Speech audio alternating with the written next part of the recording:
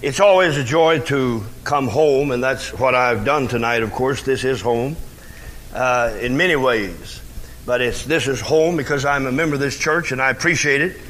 If I didn't, I wouldn't be a member of it, and I thank God for what it's doing, and I thank God that it doesn't stand still; it's going forward all the time. And so, it's a real joy to be here tonight. And I want you to pray as I speak that God will use His Word to convict hearts and draw souls to Christ. I know you want to see souls saved, and so do I, and that's what we're here for tonight. So you pray, and after I pray, I'm going to tell you why I'm delivering the sermon that I am tonight. The subject is not new, and the sermon will not be new, but it has burned its way into my heart in a new way and a much more forceful way than it has ever the 38 years that I've been preaching. And I preached on the subject that I'm using tonight many times. But if I can get across to you what God has gotten across to me in preparing this sermon, then I feel that some of you may go away from here tonight with a deeper determination to win some of your loved ones and neighbors and friends to Christ. Some of them that are lost, you'll win them to Christ. Will you bow your heads just a moment, please? Our Father, we thank Thee for the privilege of prayer. We thank Thee, our Father, that we can call upon Thy name. In the name of Jesus, we are invited to call upon uh, Thy name, and we are invited to make our desires and our needs known to Thee. And so, Father, tonight, I need Thee every hour. I need Thee every moment of every hour, but this is the hour that I need Thee most this day, now. Because if this message is my message, then, Father, there'll be no message. But if it's God's message, then someone will be moved. Someone will be convicted. Someone will be drawn to God. And so I commit soul, spirit, and body to Thee. And I pray, God, that you'll take this voice and this heart of mine, and I pray that you'll speak to these dear people and those, I don't know who they are. I do not know how many. I cannot see the heart. But Father, you see the heart, and I pray that every person in this building tonight who is not born again will be convicted deeply and drawn mightily and saved by God's grace before this service comes to a close. We thank Thee for this church, and Father, I do not pray hypocritically when I say, I thank God for this church, for the mission program, for the children's home, for the school, for the pastor that you've used here in such a special way. God bless this pastor, give him wisdom, give him strength. He needs today in this hour a double portion of wisdom and grace and strength and courage, Father. So you equip him for the days ahead and bless those who work with him. In Jesus' name we ask it. Now, Father, I commit the remaining moments of this service to Thee. May Thy will be done, and God shall have the glory. In Jesus' name, amen. I'm speaking tonight on hell. Now, I'll tell you why. I'll tell you why I'm using the subject hell. A few weeks ago, one of my dear friends who lives in another city, in fact, he lives in Philadelphia, Pennsylvania, called me on the phone. In fact, the phone rang, and I don't usually begin a sermon this way, but I want to tell you why I'm preaching on hell tonight. I want to tell you what the Lord used to impress me to use the subject that I'm using tonight. And this, the phone rang, I picked it up. And at first I thought it was some uh, somebody uh, calling a quack call or somebody to maybe threaten me or something because all I could hear was a groan just a muffled groan. I couldn't understand what was being said. And then I said, Who is this? And finally I understood his name and I said, What's wrong? What in the world's wrong? And he said, I've just gotten a message from my son that my little granddaughter was playing with some other children in the yard and the neighbor was burning trash it was in the early fall, and leaves were piled high, and uh, other uh, limbs and, and things they'd piled up, and they'd set on fire, and they were burning trash. And this man said, uh, My little granddaughter was out there and a little boy pushed her into the fire.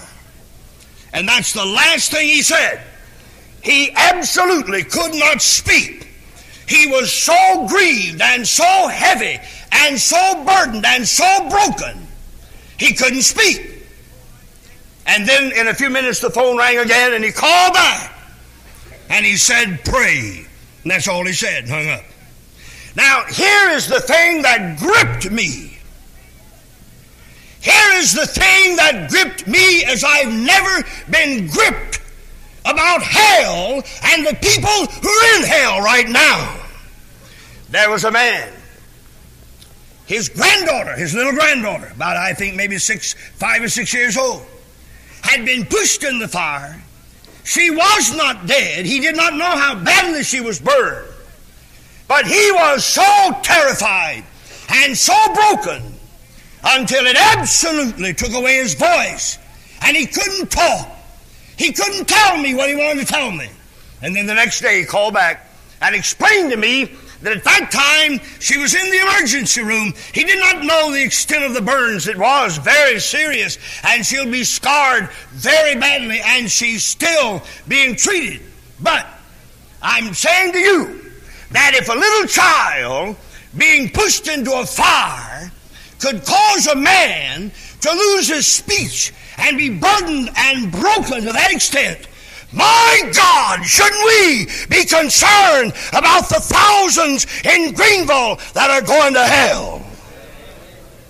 I'm going to tell you something, friend, and you may not agree with me. We don't believe in a Bible hell like we ought to believe in it. If we did, we'd spend more time trying to get people ready to stay out of hell.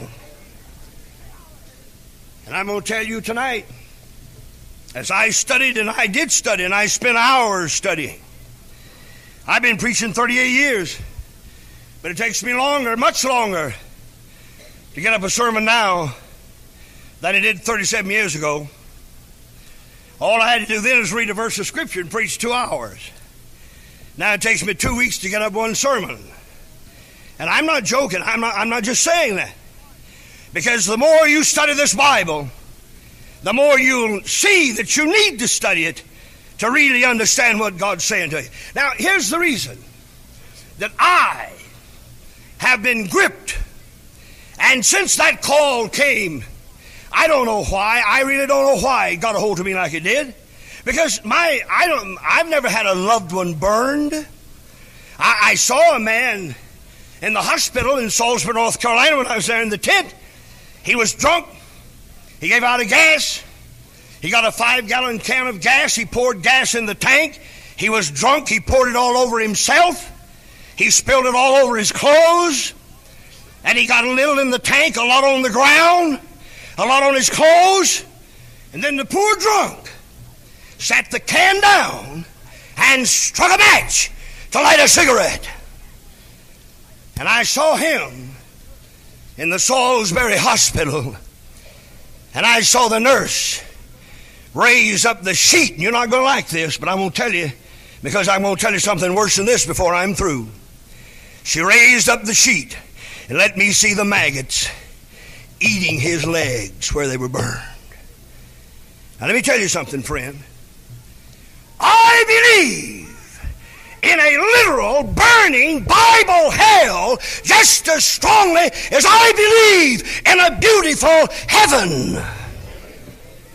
And souls are in hell now, burning now.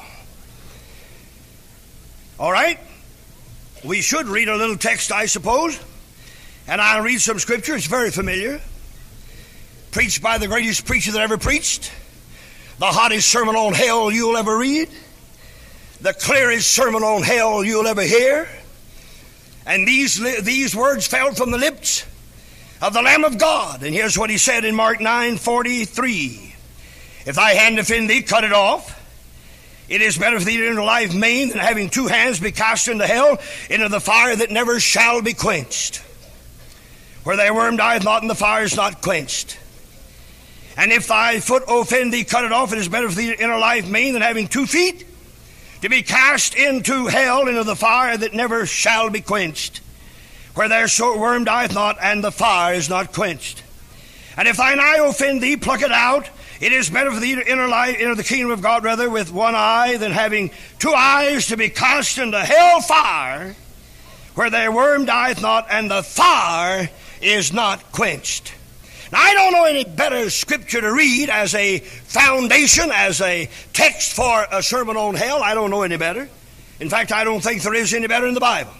Now, with that in mind, with that in mind, I want to answer some sensible, timely questions about hell and what the Bible tells us about hell and why I believe that you and why I believe that I should be more concerned about the people who are not ready to die and who are not prepared to meet God and who will not stay out of hell unless we get them saved through the gospel. You can't go to heaven unless you're born again.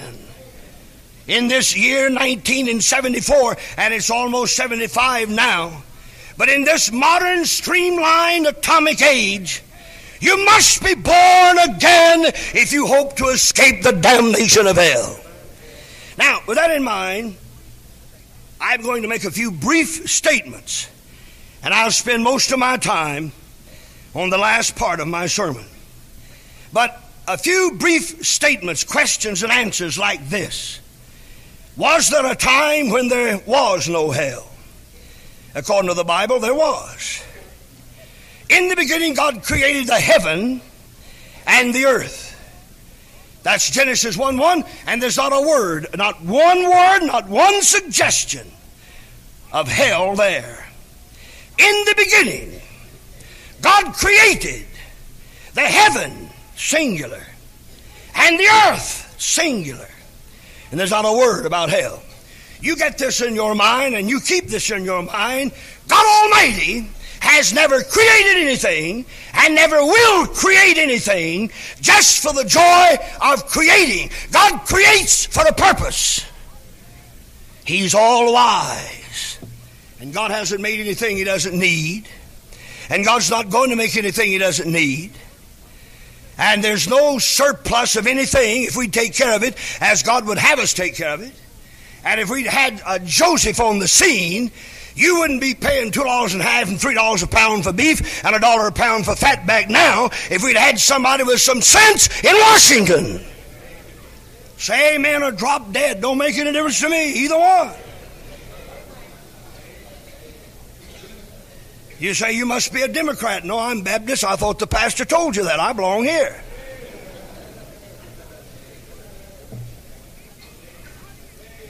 We need somebody in, in, in, this country. We need some men in Washington. We need some men in Columbia with some good common sense.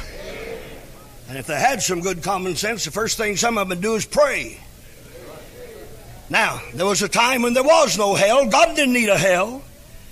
And God didn't create a hell in the beginning. But God did create a hell later. Now, how much later? I can't tell you. I don't know. I don't know how much later. I don't know whether it was a century or whether it was 10 centuries. I don't know. But I do know that somewhere along the line, Lucifer decided he could overthrow God, take God's kingdom and God's throne, rather, and exalt his throne above the stars of God. And God cast him out. And the angels that he led astray, God cast them out. And then it was, and I don't know when it was, doesn't make any difference. But then God had need of a place called hell. And God created it, or God prepared it. And in Matthew 25 41, you'll find that hell was prepared for the devil and the devil's angels. Now I don't know when God did it, that don't make any difference. But I know why God did it. I know why God did not do it in the beginning. God had no need for a hell. I know why God did it when He did. God needed a hell. And so He prepared it. With that in mind, I want to ask and answer from the Bible just where is hell? Now, everybody agrees that heaven is up. Whichever direction that is depends on how the earth is spinning on its axis. But it's in the sides of the north or up. We're not going to discuss that because that's beside the point. Because when I take off to heaven, I won't have to know where it is. I'll go anyhow. Amen. When I start. God knows the way, and I don't have to know the way. I just know I'm ready to go. Amen. I'm ready. I'm prepared. I'm born again. I haven't done all I'd like to do, haven't been all I'd like to be, but I'm prepared. If I go tonight, I'm prepared. And I'm not worried about arriving. I'll get there. Amen. All right. But the Bible teaches that hell is down. Now, from where you're sitting, hell's right under you if it's down. Down in the center of this earth. Now, you say, Preacher, that doesn't matter. Well, that's all right. Maybe it doesn't. Maybe it doesn't. But maybe that will explain to you and to some of the scientists and geologists why we have rivers of molten lava, liquid fire running from live volcanoes. And in the past, they have buried cities. And in the future, if Jesus tarries, it'll happen again. Now, I, I can't read these, I don't intend to. But I looked in my concordance, and in Isaiah 14 9, God said, Hail from beneath. So that's down. In, in, in, Isaiah, that's Isaiah 14 9, Isaiah 14 15, again, hail from beneath. That's down.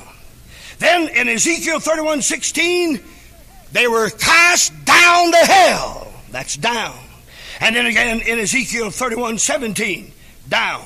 In Ezekiel 32 27, down to hell. And then in Numbers 16, and we could spend a lot of time here, but I'm not even going to turn to it because if I turn to it, I will spend a lot of time there. And so I'm just going to give you the outline of it and you can read it when you get home. That's number 16. You can begin with verse uh, 29 and read several verses.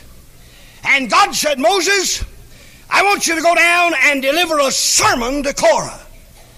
And Moses went down.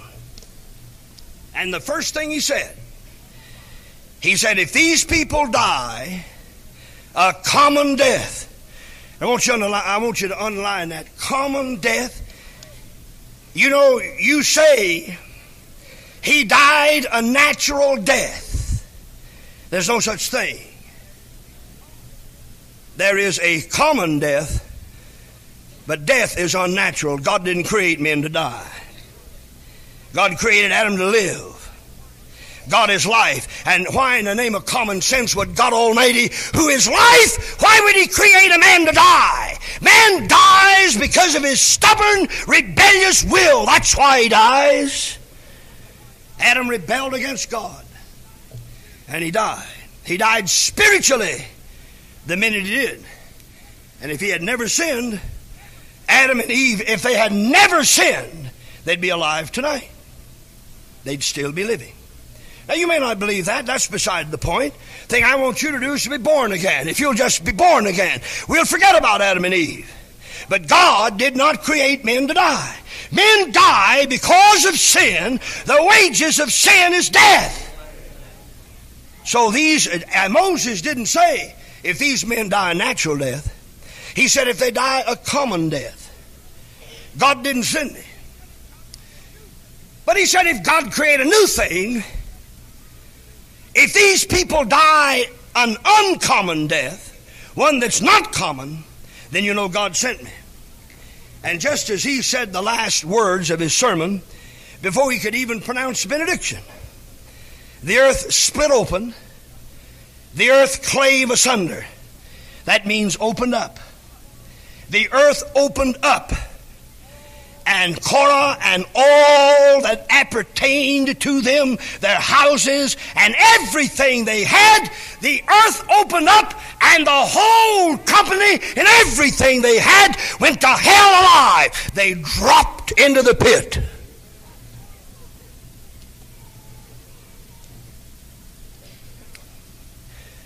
Now, I think That's enough. Scripture to prove to anyone that's interested that hell is down. And from where we sit and where we stand, that's down beneath us. Jesus descended into the lower parts of the earth, right? Amen?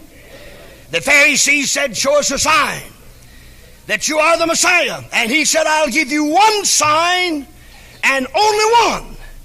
As Jonah was three days and three nights in the belly of the whale, so shall the Son of Man be three days and three nights in the heart of the earth. And the psalmist David said, Thou wilt not leave my soul in hell. Now, Jesus descended into the paradise side, into the side where the righteous spirits were at that time. He went into that part where Abraham was and where Lazarus went when he died. Jesus did not go into the fires of hell, but he did descend into the paradise side of hell. There are no saints there now. When Jesus rose again, he led captivity captive and he carried them far above all heavens. And so they're there now. But Jesus went into the heart, and that's the center this earth. One more scripture, and I'm not turning. Revelation 9 1.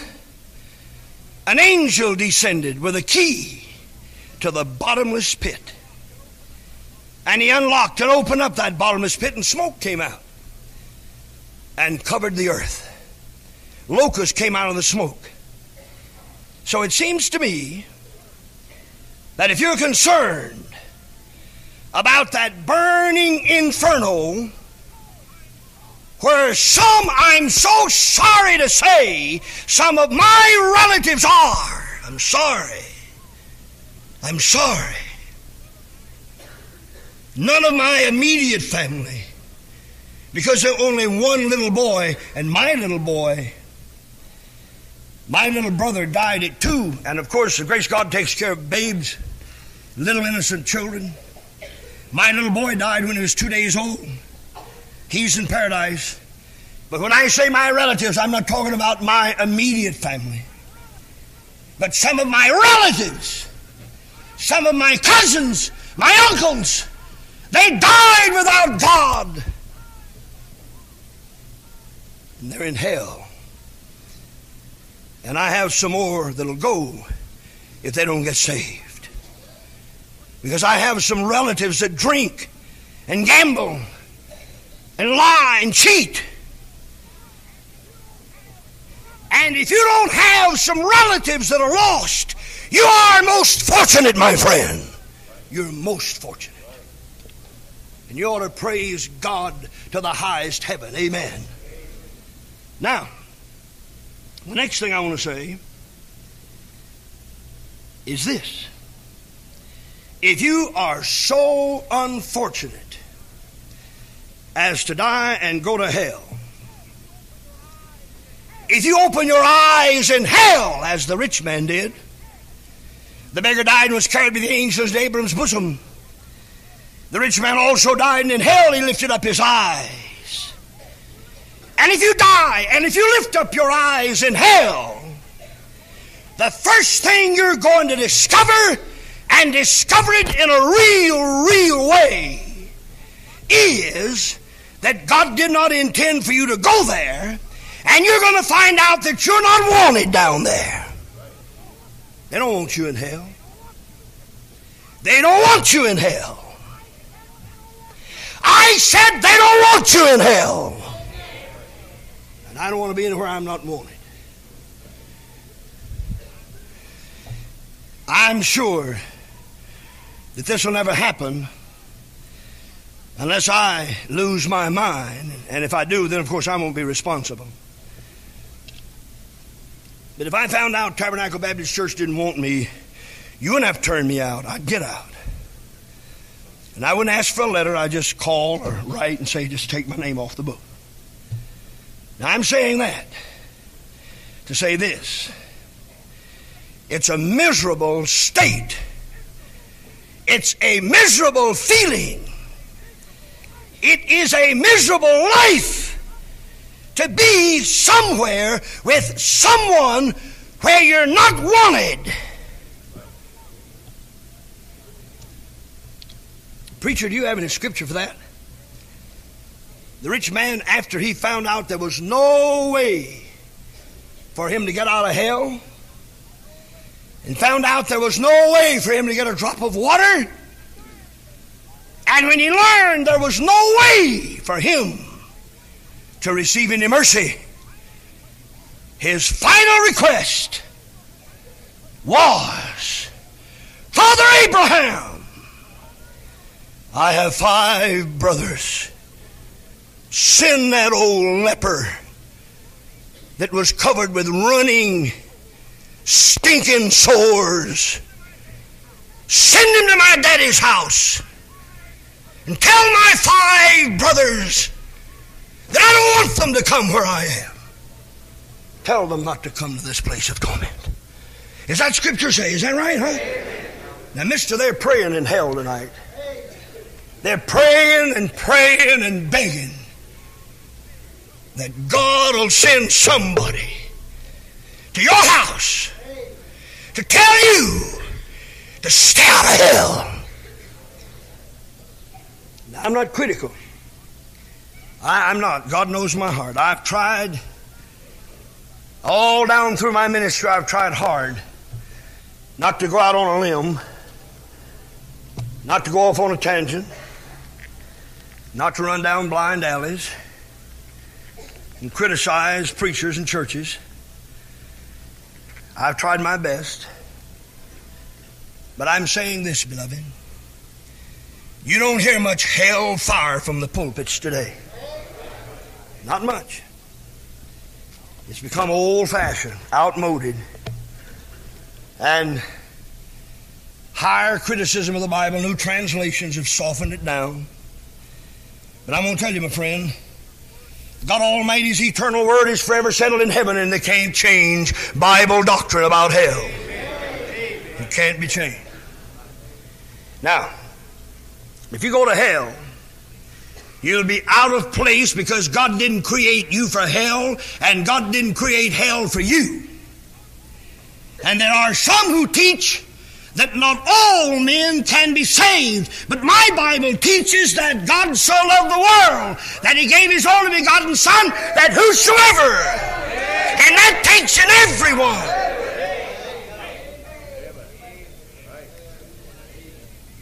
So, what I'm saying to you is this God created you to love and to worship and to be happy and to enjoy life. God didn't create you to be sinful and mean and ungodly and dirty and filthy and then go to hell when you die. God didn't create you to go to hell.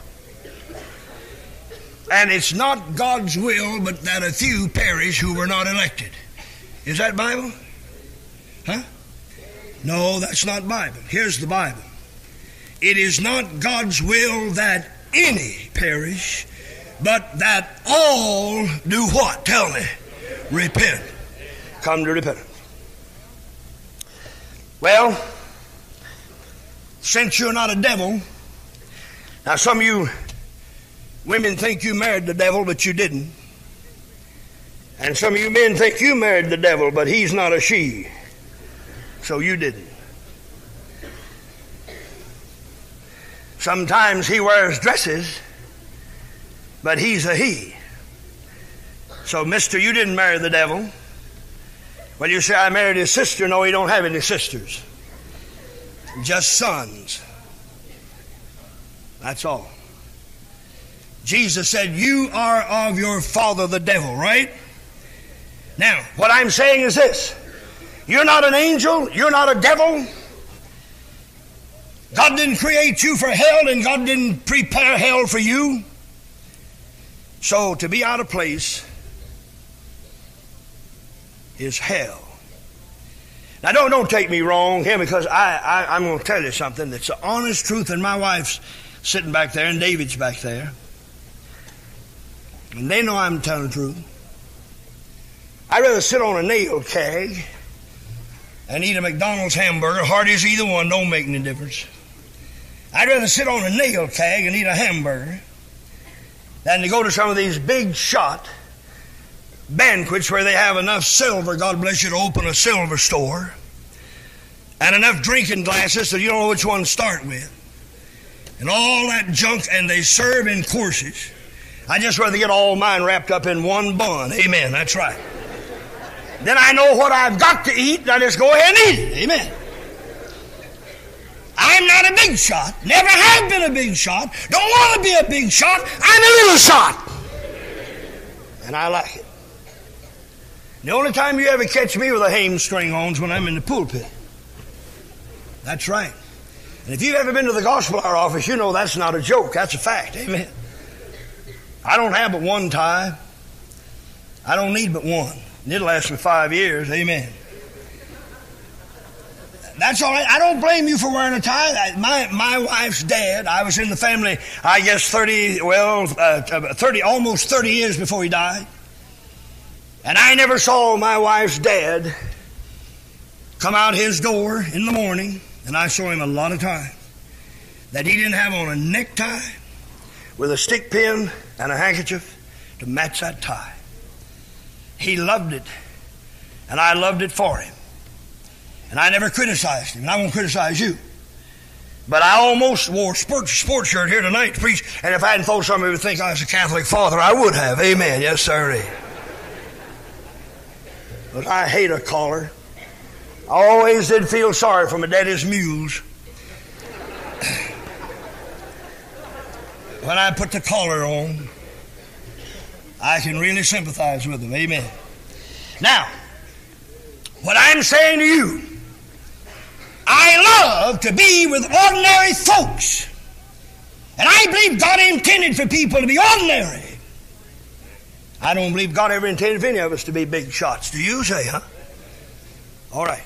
Now, the next thing I want to say about hell hell is not what some preachers say it is and what some theologians teach that it is and what some writers have written that it is. They write about a mystical place, a fictitious place, not real fire, not a real place, but just a state of mind.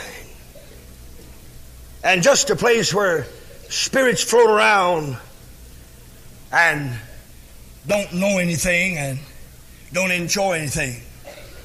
That's not the kind of a hell my Bible teaches. I'm going now is the, the place that I'm going to spend the rest of my time, and I promise you faithfully that I, for my sake, more than your sake, I'm not going to preach as long as I used to, I'll guarantee you. First place, I couldn't if I wanted to. So I have a watch and I'm going to keep time, but I'm going to use the rest of my time describing what burned my soul like I've never been burned inwardly.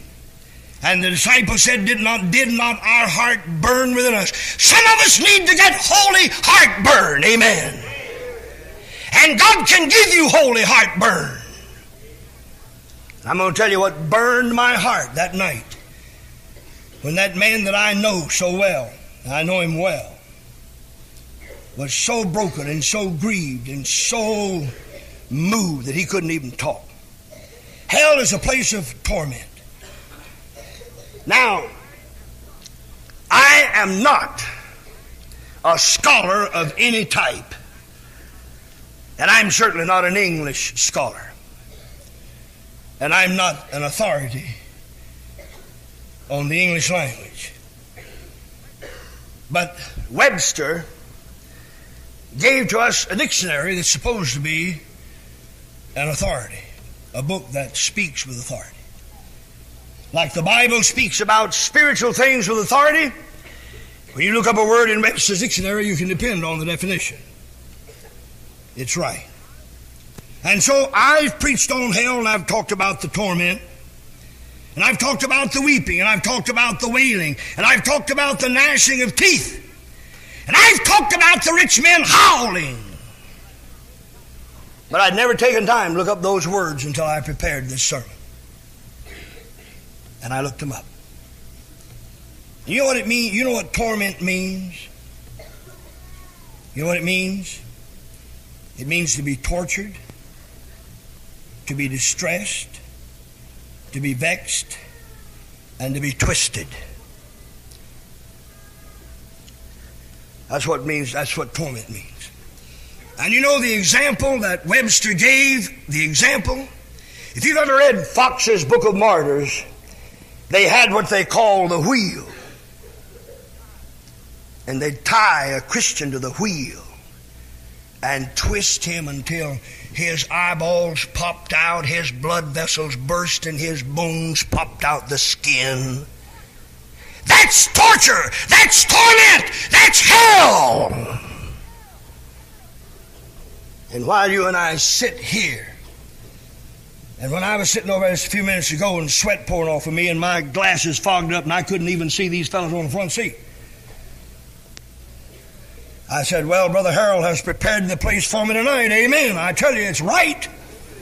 I've got the right subject.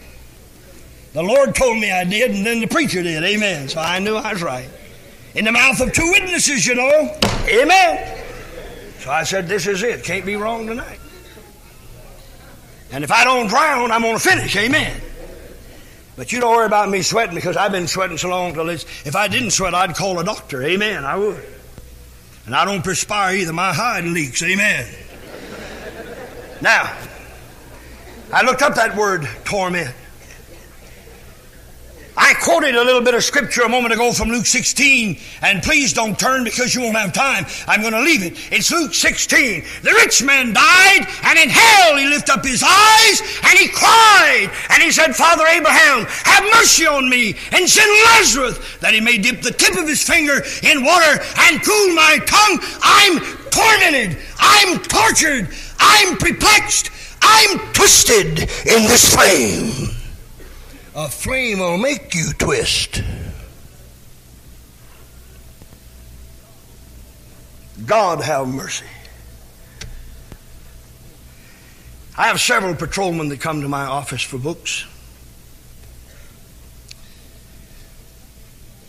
And some years ago, I don't know, you know, time goes so fast. I told you folks I'd be 60. Of course, I know I look like I'm 70. I got a lot of mileage on me. But I'll be 60 if I live until Valentine's Day. And time goes fast.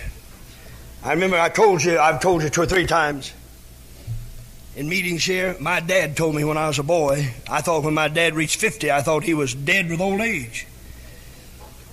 And he told me that the older you get, the faster time goes. I didn't believe him then. I'm 60 now. If I should live to be 70, I'm not going to ever get out of bed again. Because I wouldn't get my britches on to be time to go back to bed. Amen. So no need to get up. Just stay in the bed. Because I don't much more get my britches on now until it's time to go back to bed. You just don't get anything done in a day. Amen. Say, huh? You know, Christmas has come and gone, and I don't know where it went. Because it went so fast, I didn't get a glimpse of it. Really, I'm not joking. Coming over here tonight, I saw Christmas trees in windows, and I said to my wife, I said, that's the strangest thing. That looks so funny. Of course, we took ours down Christmas morning. I don't get the thing out of there. Amen. I don't like it hanging around.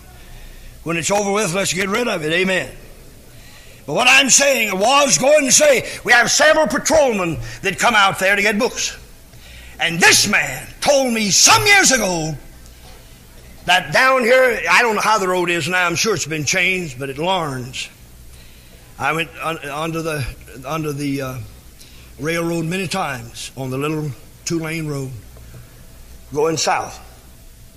I haven't been that way in a long time. But one night, a dark, well, kind of like last night, rainy, dark, foggy night. A man was coming up from Charleston with a load of gasoline, one of these big old tankers. And he started under that railroad and his truck began to skid and he lost control and hit that cement column. That, I don't know how many thousands of gallons of gas he had. That thing exploded, set him on fire. And he was pinned in that cab. And that patrolman said, Preacher, he said that man begged me to shoot him until he died. He said, Officer, please shoot me. Please. Have mercy on me and shoot me. He couldn't shoot that man. He couldn't kill that man. He knew he was dying. He knew that he couldn't get him out. There was no way to get him out. From the human standpoint, he was as good as dead, and he was begging to die, but the patrolman couldn't shoot him. Eventually, the flames killed him, and he fell over. And then, of course, they pulled his body no more than a cinder out after the fire. But you know, there's souls in hell tonight that's been there 4,000, 5,000, 5,500 years, burning, blazing, begging, twisting, tormented, perplexed, terrified, begging, but they can't get out. And you and I sit around here sing, Oh, how I love Jesus. Lord, send me. I wonder if we really mean it. Do we really mean it? God help us to mean it. Amen. Say. Well, the rich man said, I'm tormented. And John tells us the beast and the false prophet were cast in the lake of fire. They'll be tormented day and night forever and ever. And the devil will be cast in. He'll be tormented. The beast worshippers were tormented day and night, and the smoke of their torment ascended up forever and ever. Day and night, tormented, tormented. Hell is a place of torment. But then I read something else. You know, this man that called me, he couldn't even cry. Listen, don't you ever criticize anybody at a funeral that don't cry. Don't ever. When you see a person walk up to a casket and look in the face of their mother, their little baby, their husband, their wife, and they can't shed a tear, don't say that person don't care. They didn't care. They're glad they're dead. They don't have any feeling. 99 chances to one, they're suffering a hundred times more than the person that's crying.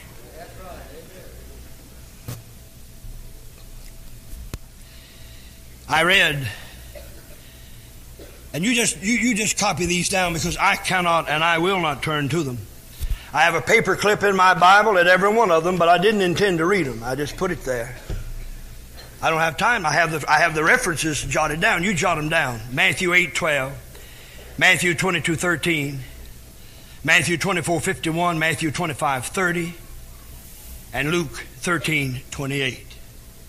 Now I'll give them to you again in case you're interested. In Matthew 8 12, Matthew 22 13, Matthew 24 51, Matthew 25 30, and Luke 13 28. You know what those verses say, all of them? You know what they say? In one form or another, it says that the wicked, the ungodly, the lost were cast into outer darkness where there is weeping and wailing and gnashing of teeth. Some of you, dear sinners, and I say that with all the love that God Almighty will give me, I say it in love and not sarcasm. Some of you, dear sinners, you can't bear. And I, am going to change that. I'm going to tell you what somebody told me. Somebody told me they were invited to this service tonight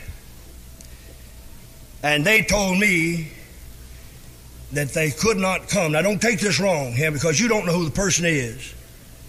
And you don't know one thing about them.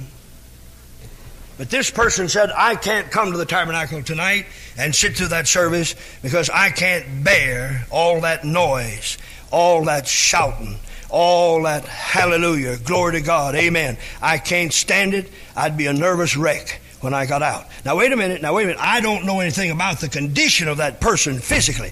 Now, it could be, it could be that somebody who is a born again Christian would get into a position from the nervous system. I mean, I don't, I'm not a doctor. It could be, it could be that some Christian couldn't sit through this service or any service where there is a lot of shouting or noise or even loud singing or even loud preaching. There are no doubt some people that couldn't bear to hear me preach because they say I preach too loud. I, I wouldn't send them to hell for it. I'd pull them out if I could. But I'm saying that some dear sinners can't bear a little noise in the house of God, but if you don't get saved, you're going to hell and you're going to be in the noisiest place you've ever been. And you'll never get out, my friend. You'll never get out. Now, you know, I looked up every one of those words. You say, Did you look up weep? I certainly did. You know what it means to weep? You say, Certainly I do. You know what causes tears? You know what makes tears run out of the corners of your eyes? Do you know? Do you, do you know? It's pressure. That's what the dictionary said. Pressure.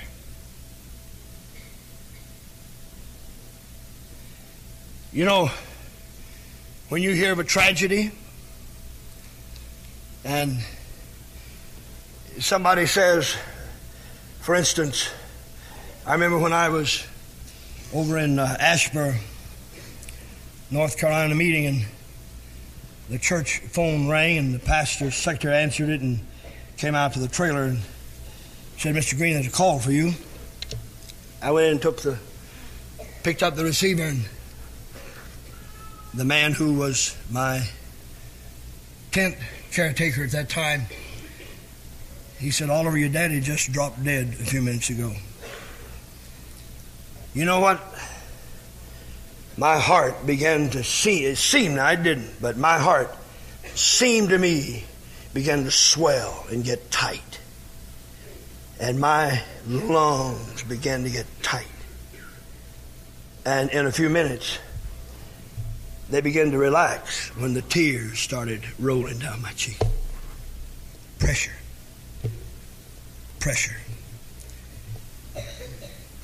I looked up that word weep, and here's what it means it means to be sorrowful, it means to be filled with grief, it means to be overcome with anguish, it means to display anguish with an outcry.